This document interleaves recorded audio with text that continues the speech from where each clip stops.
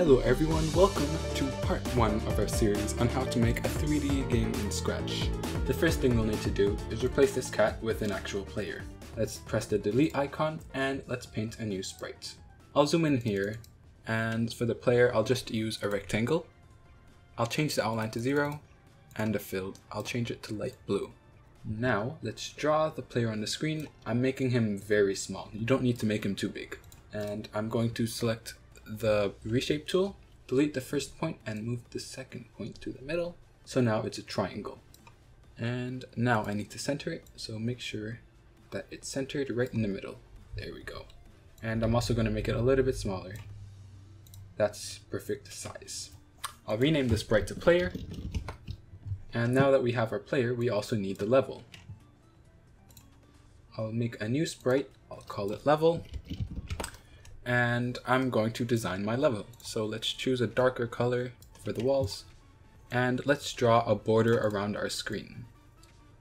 I'm going to fast forward this just so it doesn't take up too much time.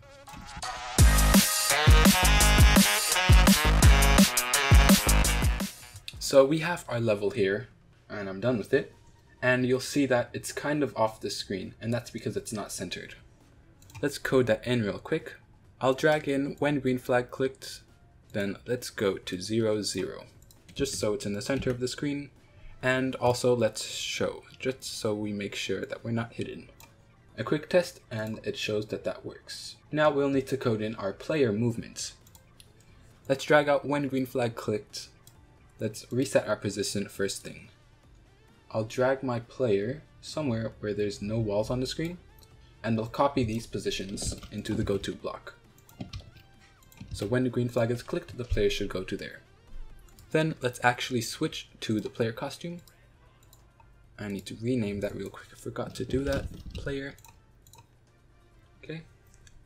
Now we need a forever loop. And let's first tackle rotation. If we are pressing the left arrow, let's rotate to the left. I'll change this to 8 degrees and if we are pressing the right arrow, let's rotate to the right.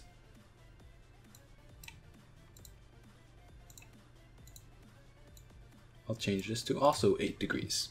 Now we need to move up and down. For this, I'll use the up and down arrow keys, of course.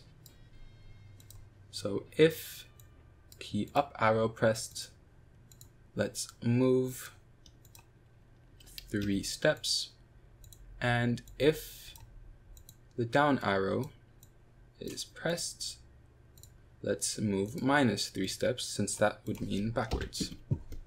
Let's press the green flag. Let's use the left and right arrow keys to rotate and we can move up and down. Great. The only problem is that we can move through walls and that is not something we want to happen in our game. Let's go to the costumes and I'll zoom in on a player we need to make a hitbox. Let's right click on the player and press duplicate. I'll rename this to hitbox. And I'm just going to draw a small square on the screen, about the same size as the player sprite. I'll delete the original costume, the original costume, and let's move this to the center. So a hitbox is something that collides with the level. Let's go back to our code.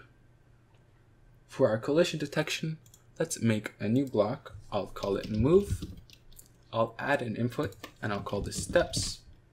And let's run without screen refresh. First, let's set rotation style to left right. And I'll change this to don't rotate. Then let's switch costume to hitbox. I'll make a new block. I'll call it apply movement since that is what it'll do. I'll add an input called X and another one called Y and press OK. For now, I'll just drag this off to the side. I'll drag in apply movement under switch costume to hitbox. And this is where we will do our collision detection code. I'll drag out a times block in the first slot. I'll drag in steps in the first times. And then we need to multiply this by sine of direction. Then in the second, I'll just put zero. Now let's duplicate this. So press duplicate. And then instead of being in the first slot, I'll put this in the second. And in the first slot, I'll type 0. I'll change this to cosine of direction instead. Then let's switch costume to player. And let's set rotation style to all around, just so we can rotate again. And our second block, apply movement. This is where we will actually apply the movement. For that, I'll drag out change x by 10 and change x by x, change y by 10 and change y by y. Now we need to make sure if we are touching the level, we move out again. So if touching level, then I'll change x by, go to operators, drag out a times block, and I'll multiply minus 1 times x. So if we are moving forward, then we move backwards. And I'll do the same thing for y, so change y by minus 1 times y. And now we need to replace our move steps block here. So instead of move 3 steps, we'll drag in move 3 with our own custom block.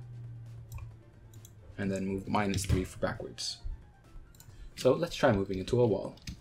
Boom, we'll see that we can't go through it. Awesome, that was pretty simple, wasn't it?